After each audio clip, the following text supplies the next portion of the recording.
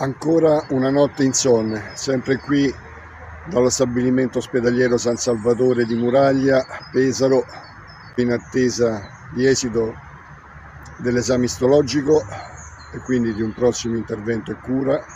Irene ancora insonne e in uno stato di eh, riabilitazione quindi già questa mattina nuovamente altre sedute riabilitative con la fisioterapista.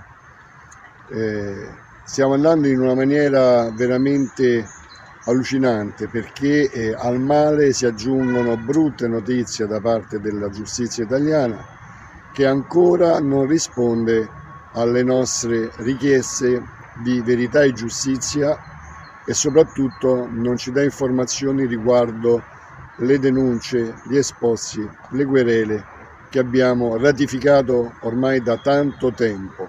Le autorità giuridiche, ripeto, sono negligenti, intenzionali e così lo stesso Presidente della Repubblica, che non fa altro che raccontare belle parole a tutto il mondo e a tutti gli italiani, ma non fa nulla delle sue funzioni anzi va contro la Costituzione della quale è garante.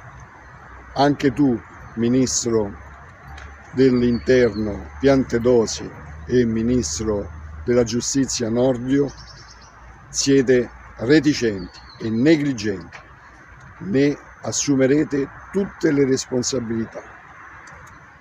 Continuate a seguire le informazioni reali sulla Digital News 24 e non quelle tediose dei canali nazionali che sono ormai lottizzati dal governo, dai potentati economici, da loggi massoniche, da servizi segreti deviati e tutti coloro che la utilizzano per i propri fini e scopi.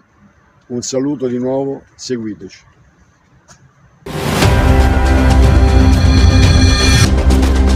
La Digital News 24 presenta. Tratta dalle storie di Alessio Belli. Il docufilm La bambina venduta.